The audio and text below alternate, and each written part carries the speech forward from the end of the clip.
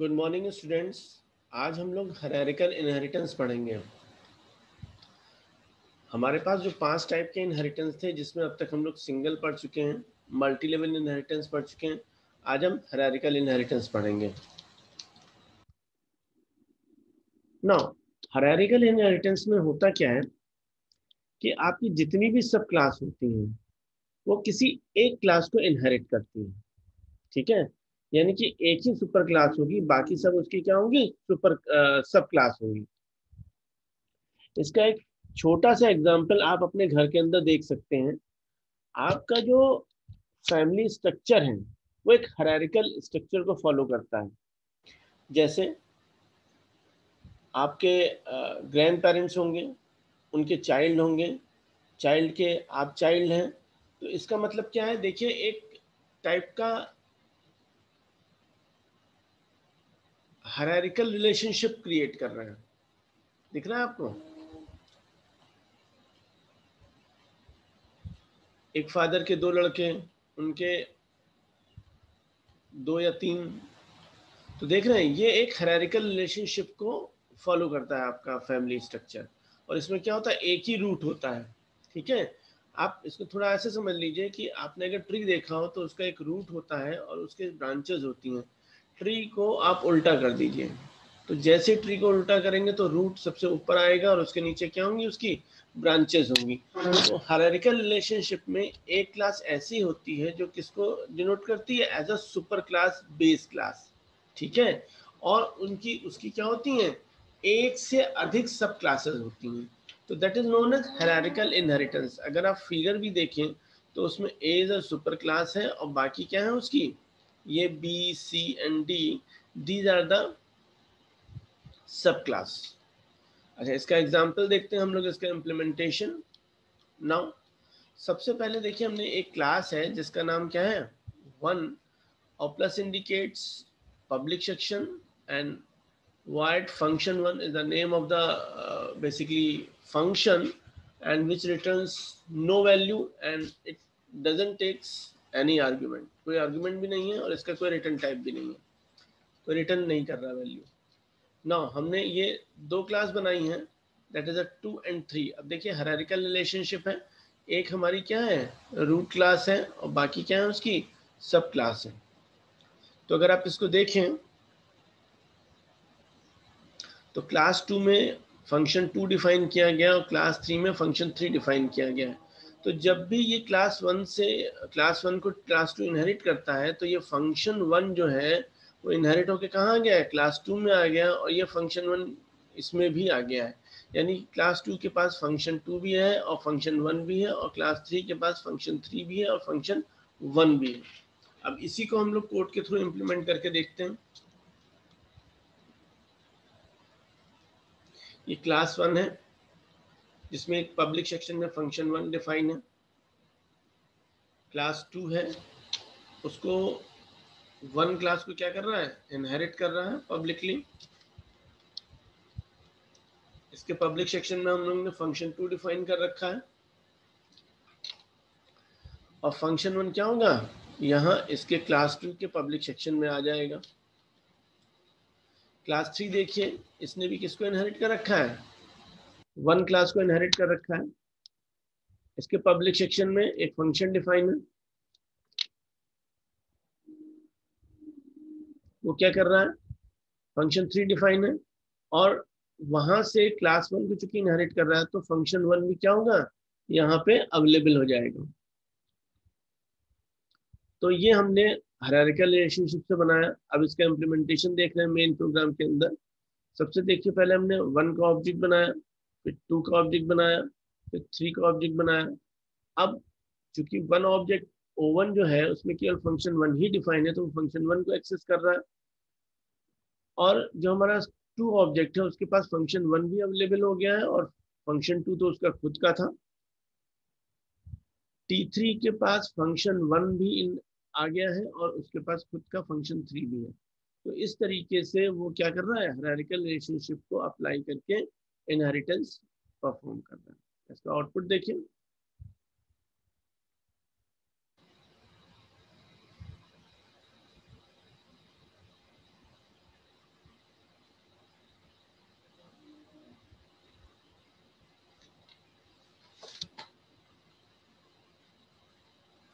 ठीक है? तो इस तरीके से इस एग्ज़ाम्पल में हरारिकल इनहेरिटेंस को फॉलो किया गया। एक दूसरा एग्ज़ाम्पल देखते हैं हम लोग।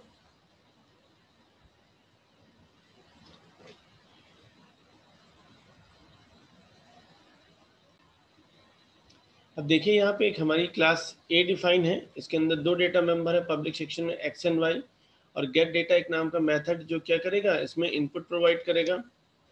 Class B and class C ये दोनों आपकी क्लासेस uh, डिफाइन है और जो किसको इनहेरिट कर रही हैं? क्लास ए को इनहेरिट कर रही हैं हरारिकल रिलेशनशिप बना रही हैं। इसमें प्रोडक्ट नाम का फ़ंक्शन और इसमें सम नाम का फ़ंक्शन है। ठीक है? यानी कि जब भी इनहेरिट करेगा तो ये तीनों चीज़ें कहाँ आ जाएँगी? इसके पास भी अवेलेबल हो जाएँगी और ये तीनों चीज़ें क्लास बी के पास भी अवेलेबल हो जाएँगी। इम्प्लीमेंटेशन देखते हैं हम लोग।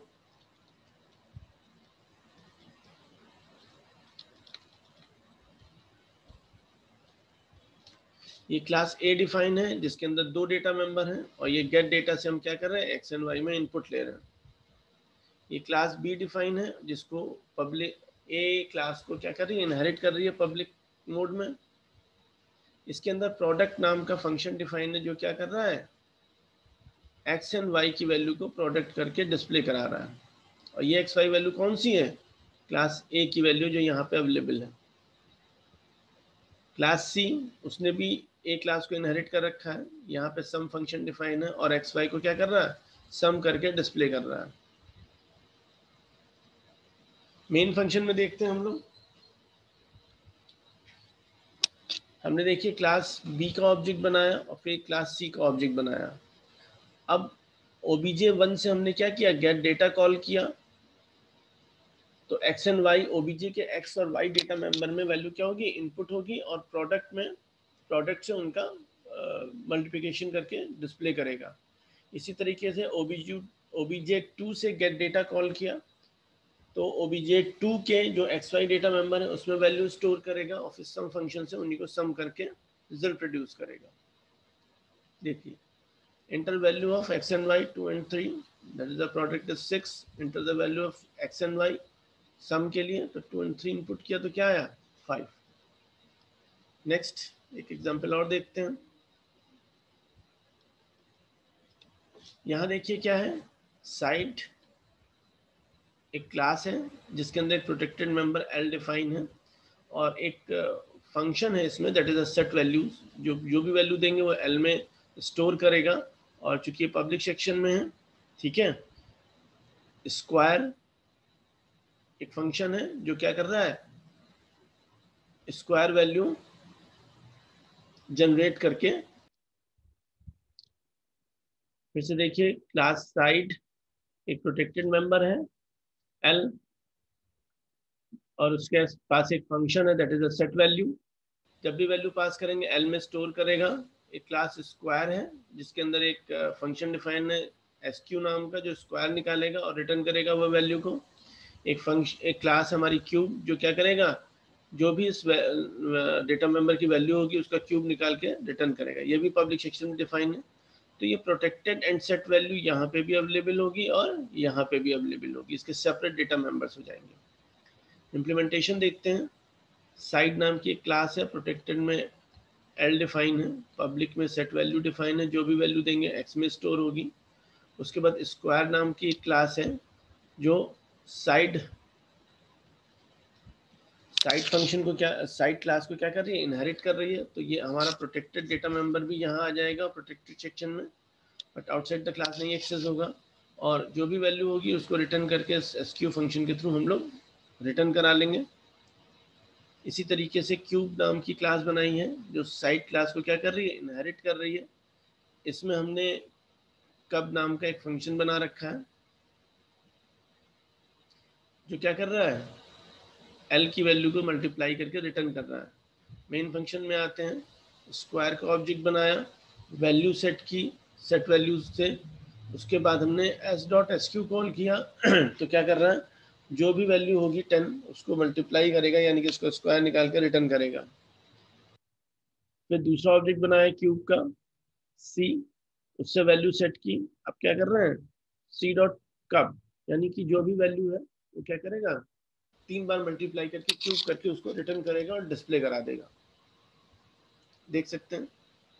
The square value is hundred ten into ten और cube value is eight thousand twenty into twenty into twenty that is eight thousand एक एग्ज़ाम्पल और देखते हैं।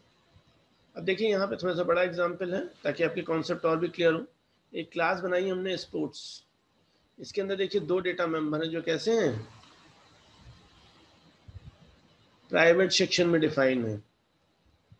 और एक डेटा मेंबर है, कैप्टन नेम, जो प्रोटेक्टेड डिफाइन है, यानी कि इसको इनहेरिट करेंगे तो ये चाइल्ड क्लास में प्रोटेक्टेड सेक्शन में अवेलेबल हो जाएगा, अगर हम पब्लिक इनहेरिटेंस करते हैं। और उसके बाद हम क्या कर रहे हैं? सेट प्लेयर कोच नेम की वैल्यू सेट कर रहे हैं, और कैप्टन नेम की वैल्यू क्या कर रहे हैं? सेट कर रहे हैं। और उसके बाद तीनों की वैल्यू क्या कर रहे हैं? इसको हम एक्सट्रैक्ट भी कर रहे हैं। और ये सब पब्लिक सेक्शन में डिफाइन है। तो आगे देखते हैं, इस क्लास को कौन कौन इनहेरिट कर रहा है? एक हमारे हॉकी नाम की क्लास है, एक क्रिकेट नाम की क्लास है और एक फुटबॉल नाम की क्लास है। ठीक है? और ये फुटबॉल भी दो क्लास दो क्लासेस हैं जो फुटबॉल क्लास को इनहेरिट कर रहा है। एक हरारिकल रिलेशनशिप है। पहला कौन सी है? जूनियर फुटबॉल टीम और दूसरा है सीनियर फुटबॉल टीम आगे देखते हैं। देखिए, ये सब हमारे पास यहाँ भी अवेलेबल हो जाएँगे और यहाँ भी अवेलेबल हो जाएँगे। इसी तरीके से ये सब यहाँ भी अवेलेबल होंगे, ये यहाँ भी अवेलेबल होंगे और ये यहाँ भी अवेलेबल होंगे। लेकिन जो प्रोटेक्टेड डेटा मेंबर है, वो आपका यहाँ भी होगा, यहाँ भी होगा, यहाँ भी होगा, यहाँ भी होगा और यहाँ भी होगा। लेकिन ये जो दो डेटा मेंबर है, ये आपके कहीं नहीं अवेलेबल होंगे, केवल स्पोर्ट्स क्लास के अंदर ही अवेलेबल होंगे। इम्प्लीमेंटेशन देखते हैं। स्पोर्ट्स क्लास बनाई। प्राइवेट सेक्शन में दो डेटा मेंबर डिक्लेयर किए। प्रोटेक्टेड सेक्शन में हमने एक data member that is a captain name declare किया। पब्लिक सेक्शन में हमने गेट वैल्यू कर रहे हैं। ये हमने फ़ंक्शंस यहाँ बना रखे हैं प्रोटोटाइप ठीक है? और इसकी डेफिनेशन आउटसाइड द क्लास देंगे। तो सबसे पहले गेट वैल्यू क्योंकि हम गेट कोई वैल्यू रिटर्न कर रहे हैं। ठीक है? इंटीजर टाइप की वैल्यू रिटर्न कर रहा है तो that is a return total players get coach name ये स्ट्रिंग रिटर्न कर रहा। गेट कैप्टन नेम ये भी स्ट्रिंग रिटर्न कर रहा। अब उसके बाद वैल्यू सेट कर रहे हैं तो आप देखिए जो भी वैल्यू यहाँ पे पास करेंगे, वो क्या करेगा? उसके डेटा मेंबर में स्टोर करेगा। That is a coach name equal to C N captain name equal to C N उसके बाद हमने टोटल प्लेयर सेट कर दिए। ठीक?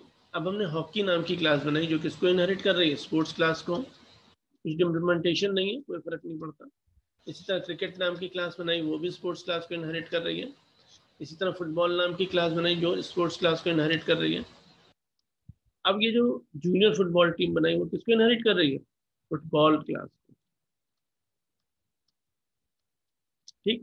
तो इस तरीके से हमने पूरा हरेरिकल रिलेशनशिप बना लिया है। अब इसी का इम्प्लीमेंटेशन देखते हैं हम लोग। Main junior football team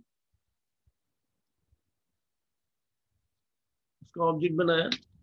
set capital name से वैल्यू सेट कर रहे हैं सेट कोच नेम से कोच नेम सेट कर रहे हैं सेट टोटल प्लेयर से हमने प्लेयर सेट कर दिए। उसके बाद हमने क्या किया? गेट फ़ंक्शन कॉल किया गेट कैपिटल नेम कैप्टन का नेम कोच का नेम और उसका नंबर ऑफ़ प्लेयर्स यहाँ पे डिस्प्ले करा दिए। अब उसके बाद देखिए, हमने एक दूसरा ऑब्जेक्ट बनाया सेट फुटबॉल टीम का। वही फ़ंक्शन कॉल कर रहा है, क्योंकि वहाँ पे अवेलेबल होंगे। Set captain name set coach name set total player और उसके बाद हमने उस वैल्यूज़ को क्या किया? यहाँ डिस्प्ले कराया। यानी कि सीनियर फुटबॉल टीम के ऑब्जेक्ट से हमने उसके फ़ंक्शन को कॉल कराया। आउटपुट देखते हैं।